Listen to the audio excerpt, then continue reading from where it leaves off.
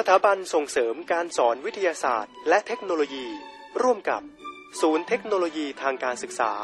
กระทรวงศึกษาธิการ เสนอรายการ คุยกัน วันละเรื่อง สวัสดีค่ะคุณผู้ฟังคะพบกันอีกครั้งหนึ่งกับรายการคุยกันมาเรื่องนะคะ ทุกวันจันทร์ถึงวันศุกร์นะคะรายการนี้สร้างสรรค์โดยสถาบันส่งเสริมการสอนวิทยาศาสตร์และเทคโนโลยีหรือสสวทนะคะ วันนี้ดิฉันดวงเดือน เรือยุติภาพดำเนินรายการ แล้วก็มาพร้อมกับคุณสุภาพรอินทุวัฒนกุลค่ะ สวัสดีค่ะคุณสุภาพร สวัสดีค่ะ คุณดวงเดือน สวัสดีค่ะคุณผู้ฟังคะ คุยกันวันละเรื่องวันนี้คุยกัน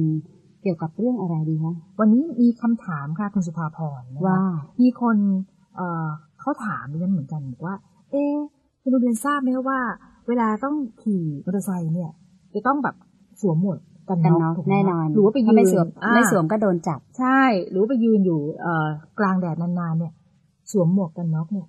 หรือจะทำให้แบบผมร่วงศีรษะล้านไหมอืมอ่าอันนี้เหรอคะค่ะดิฉันเคยอ่านหนังสือเจอนะคะ คุณหมอเขาบอกว่าไม่จริงนะคุณดวงเดือน เพราะว่าอืมสาเหตุของผมร่วงศีรษะล้านส่วนใหญ่นั้นเกิดจากพันธุกรรมอืมรวมไปถึงสาเหตุจากโรคต่างๆด้วยนะคะ อย่างเช่น พวกไทฟอยด์หรือผมร่วง ที่เป็นชนิดเป็นหย่อมๆตรงเนี้ยก็ยังไงก็รักษาได้นะคะค่ะแต่ถ้าว่าเป็นพันธุกรรมนี่ก็ลำบากหน่อยนะคะอ่าส่วนอีกคนนึงก็บอกว่าเอ๊ะน้องๆแบบไปรุ่นในรุ่นนะเวลาไปโรงเรียนเนี่ยผมยาวๆแล้วก็จะต้องแบบรวบผมอ่าเดี๋ยวนี้ใช่ไหมคะเป็นเทรนด์อ่านะคะแล้วก็ต้องดึงให้แบบตึงๆใช่ถูกไหมคะอันนี้ก็บอกว่าจะทำให้ผมร่วงศีรษะล้านได้หรือเปล่าตรงนี้มีส่วนนะคุณดวงเดือน เพราะว่าการรวบผมหรือว่าถักเปียตึงมากๆเนี่ยนะคะ แล้วก็มัดเป็นเวลานานๆเนี่ยจะเป็นการดึงอ่าถึงยอดผมเป็นสาเหตุทำให้รากผมได้รับ ความกระทบกระเทือน ซึ่งก็เป็นสาเหตุทำให้ผมร่วงได้เหมือนกันค่ะอันนี้ก็ถือว่ามีส่วนเหมือนกัน อีกคำถามหนึ่งนะเขาบอกว่าโหตอนเนี้ย ความเครียดเนี่ยมันสาเหตุจัดเลยในเรื่องของการอืมทำงานอะไรบางคนบอกว่าตกกังวลอะผมบางไปหมดแล้วเออใช่ผไหมมบางนี่มันจะทำให้ผมร่วงไหมศีรษะค่ะล้านไหม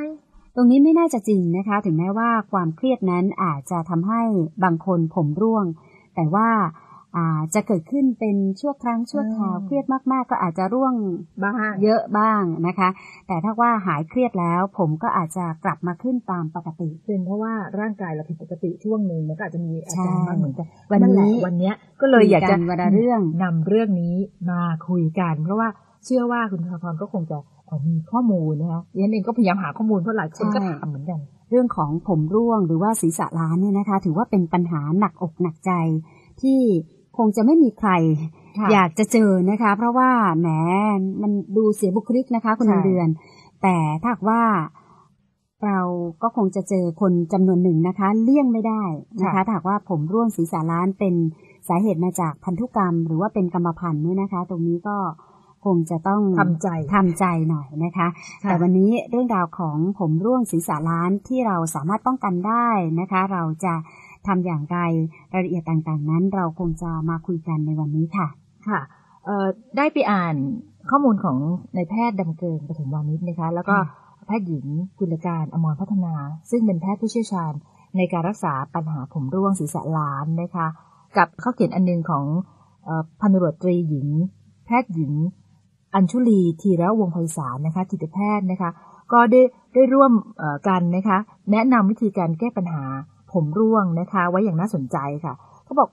พูดถึงอุบัติการณ์ของการเกิดผมร่วงศีรษะล้านก่อนเป็นกันนะคะเยอะไหมใช่ไม่ใช่เฉพาะแต่บ้านเราค่ะคุณสุภพรที่สหรัฐอเมริกาเนี่ยเขามีการประมาณการนะคะว่าร้อยละห้าสิบถึงเจ็ดสิบของผู้ชายทั่วโลกนะคะอืเกินมีปัญหาครึ่เรื่องผมร่วงศีรษะล้านนะคะแต่ว่าตัวเลขของเอ่อ ในผู้ชายไทยเนี่ย น่าจะอยู่ที่ประมาณร้อยละห้าสิบอืมนี่ไม่ใช่น้อยเลยนะค่ะส่วนผู้หญิงก็น่าจะน้อยกว่าผู้ชายคืออยู่ที่ร้อยละยี่สิบห้าค่อยยังชั่วนะคะหรือประมาณหนึ่งในสี่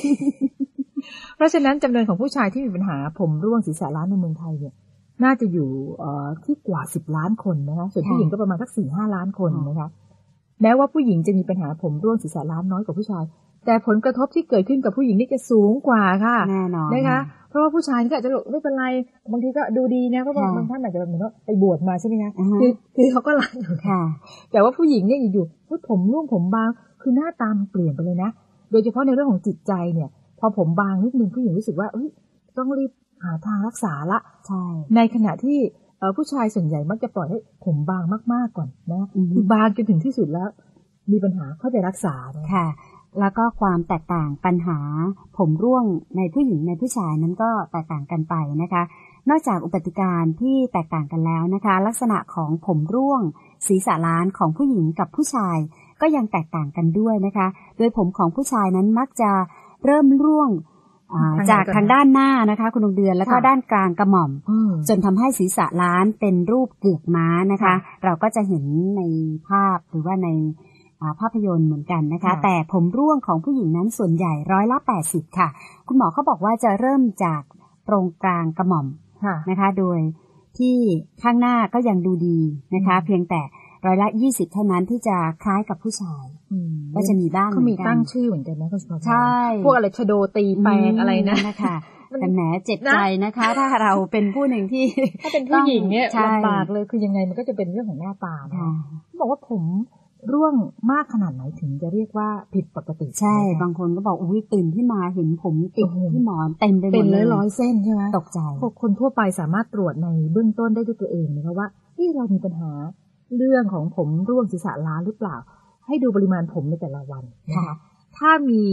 ร่วงเกินวันละ หนึ่งร้อยเส้นเนี่ยก็หยิบมานับดูก็นะนั่นคะน่ะสิเรียนว่าจะนับยังไงอืมจะถือว่าผิดปกตินะคะ ซึ่งอาจจะเกิดจากหลายสาเหตุนะคะ อันนี้ต้องไปพบแพทย์เพื่อขอคำแนะนำหรือว่าปรึกษาก่อนอาจว่าจะเป็นมียังไงโรคอะไรซ่อนอยู่ก็ได้ใช่การตรวจในเบื้องต้นอีกอย่างก็คือ เมื่อไหร่ที่เรารู้สึกว่ามีปัญหาเรื่องผมบางจนเริ่มสูญเสียความมั่นใจในตัวเองนะคะ อันนั้นก็ควรจะต้องไปอืมพบแพทย์เหมือนกันซึ่งค่ะทางแพทย์เองเขาก็จะมีวิธีการตรวจหลายๆอย่างนะอย่างเช่นอาจจะต้องใช้กล้องขยายดูเอ่อ รากผมนะคะหรือว่าดึงผมออกมาตรวจ รวมถึงการซักประวัติว่ามีคนในครอบครัวนี้ศีรษะล้านหรือเปล่านะคะค่ะเพราะบางคนนี่บางทีแบบว่าแต่ยีนเกี่ยวกับเรื่องนี้ดิฉันเคยสัมภาษณ์คุณหมอท่านหนึ่งนะคะค่ะท่านก็บอกว่ายีนเกี่ยวกับอ่าศีรษะล้านเนี่ยนะคะอืม จะถ่ายทอดไปให้ลูกชายนะคะถ้าอืมคุณพ่อศีรษะล้านเนี่ยค่ะผู้ชายนี่มีโอกาสที่จะได้รับอ่ายีนนี้ตรงๆเลแต่ยไม่ไม่ไม่ถ่ายทอดให้โชคดีผู้หญิงใช่ไหมผู้หญิงได้รับเหมือนกันแต่น้อยกว่านะคะ ค่ะค่ะ ส่วนผมร่วงศีรษะล้านจากพันธุกรรมนะคะร้อยละ96ของสาเหตุที่ทำให้เกิดศีรษะเอ่อผมร่วงศีรษะล้านในผู้ชายเกิดจากพันธุกรรมค่ะ อันนี้แน่นอนนะคะได้รับมาโดยตรงเลยนะคะ ซึ่งเป็นไปได้ทั้งจากมาฝั่งไหนพันธุกรรมอ่า ฝั่งมารดาค่ะหรือว่าบิดา ต่างจากอดีตที่เชื่อว่ามาจากพันธุกรรมของฝั่งมารดาเพียงอย่างเดียวอืมโดยลักษณะผมร่วงศีรษะล้านจากพันธุกรรมของผู้ชายจะมีรูปร่าง รูปแบบที่เห็นได้ชัดเจนนั่นก็คือส่วนใหญ่ จะเริ่มจากการถอยร่นของแนวผมทางด้านหน้า แล้วก็เข้าไปเป็นง่ามนะคะ ต่อมาเกิด ศีรษะล้านที่กลางกระหม่อม ส่วนที่เหลือร้อยละ3ถึง4ก็เกิดจากสาเหตุอื่นๆ มากมายนะคะ ไม่ว่าจะเป็นเป็นโรคอาการเจ็บไข้ได้ป่วย เป็นไทฟอยด์หรือว่าเป็นโรคผมร่วง เป็นหย่อมนะคะ ส่วนการวินิจฉัยสาเหตุของผมร่วงศีรษะล้านของผู้หญิงส่วนใหญ่นั้น ก็จะมีความยุ่งยากมากกว่าผู้ชายนะคะ เพราะว่าถึงแม้ว่าพันธุกรรมจะเป็นสาเหตุหลักที่ทำให้ผู้หญิงศีรษะล้านเช่นเดียวกัน แต่ลักษณะศีรษะล้านจากพันธุกรรมของผู้หญิง ส่วนใหญ่จะไม่จะไม่มีรูปแบบที่ชัดเจนแบบของผู้ชายนะคะ ไม่เหมือนผู้ชาย โดยบางคน บางครั้งผู้หญิงบางคนก็อาจจะมีผมบาง ทั้งศีรษะเลยใช่จึงหาสาเหตุได้ยากกว่านะคะค่ะที่เคยเห็นเหมือนกันผู้หญิงผมบางๆเนี่ยนะคะอืมหรือบางคนก็บอกว่า เอ๊ะถ้าเกิดว่าเอ่อการรักษาเนี่ยคือมันจะต้องใช้ยาหรือเปล่าค่ะซึ่งในปัจจุบันนี้ก็มียาเพียงสองชนิดนะคะที่ได้รับการรับรองจากคณะกรรมการอาหารและยา หรือว่าออยทั้งของสหรัฐอเมริกาและก็ไทยนะคะสาว่าสามารถรักษาอาการศีรษะล้านได้ผลนะคะ นั่นก็คือชื่อนะคะชื่อทาง ทางยาเนี่ย Finasteride แล้วก็ Minoxidil นะคะค่ะโดย Finasteride เดิมเนี่ยจะเป็นยาที่ใช้ในการรักษาต่อมลูกหมาก อือฮึค่ะนะต่อมลูกหมากโตแล้วก็มะเร็งต่อมลูกหมาก แต่ว่าปัจจุบันนี้อย.ของอเมริกาเนี่ยอ่าอนุมัติให้ใช้ในการปลูกผมได้นะคะ โดยใช้ได้ทั้งกับผู้ชายและผู้หญิง แต่ว่าไม่แนะนำให้ใช้กับผู้หญิงตั้งครรภ์หรือพร้อมที่จะตั้งครรภ์นะคะกิน หรือว่าจับยาตัวนี้ เพราะว่าอาจจะมีผลกระทบต่อทารก โดยเฉพาะถ้าทารกเป็นเพศชายในครรภ์นี้จะมีผลเหมือนกันนะคะค่ะ ซึ่งยารักษาศีรษะล้านนั้นก็จะมีทั้งกินแล้วก็มีฉีดพ่นด้วยนะคะค่ะตรงนี้ก็ทางที่ดีถ้าหากว่าเราจะต้องหามาใช้เนี่ยนะคะ คงจะต้องไปพบแพทย์แล้วก็ให้แพทย์สั่งมากกว่านะคะ อย่างเช่นในนักซิดิลเนี่ยก็ถือว่าเป็นยารักษาโรค ความดันโลหิตสูงนะคะ แล้วก็ไม่แนะนำให้ใช้ยากินในการรักษาผมร่วงศีรษะล้าน แต่ให้ใช้ในรูปของโลชั่น หรือว่ายาทา ซึ่งก็จะมีความเข้มข้นแบบ 2%หรือว่า 5%ก็จะมีผลข้างเคียงน้อยกว่าเฉพาะที่นะคะ ซึ่งตรงนี้ถ้าหากว่าจะใช้คงจะต้องได้รับคำแนะนำจากแพทย์ก่อนนะคะ ส่วนการรักษาด้วยการปลูกผมนะคะ ซึ่งแพทย์ส่วนใหญ่ก็จะใช้วิธีการปลูกผมค่ะให้กับคนที่ผมร่วงศีรษะล้านจากพันธุกรรม หรือว่าผู้ที่มีอายุมากกว่า 25 ปีขึ้นไป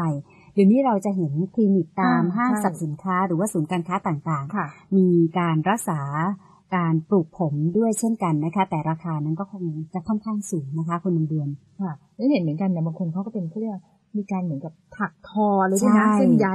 ค่ะสำหรับผู้ชายโดยเฉพาะค่ะนะคะ แล้วเดี๋ยวนี้มีการย้ายเซลล์เส้นผมที่มีอยู่ มาปลูกในบริเวณที่ต้องการด้วยนะคะ ตรงนี้ก็ถือว่าเป็นการนำเอาวิทยาศาสตร์มาใช้ในการรักษา คนที่มีปัญหาเกี่ยวกับเรื่องนี้ด้วยนะคะ ค่ะ ซึ่งคนส่วนใหญ่เนี่ยถ้าเกิดว่าไม่ไม่มีอาการแบบนี้เนี่ยไม่รู้สึกนะเขาบอกว่าใช่ถ้าคุณไม่เคยศีรษะล้าเนี่ยคุณก็จะไม่รู้ว่าความรู้สึกของคนที่ไม่มีผมเนี่ยขาดเป็คนวามอย่างมั่นไรใจใช่ใช่ไหมคะแต่ถ้าคนที่เขาเป็นแล้วอดินเห็นคนที่เขาเอ่อเป็นบางส่วนเนี่ยเขาบอกว่าดูบุคลิกเนี่ยเวลาที่ไม่มีผมเนี่ยค่ะคือมันจะอีกแบบหนึงเลยใช่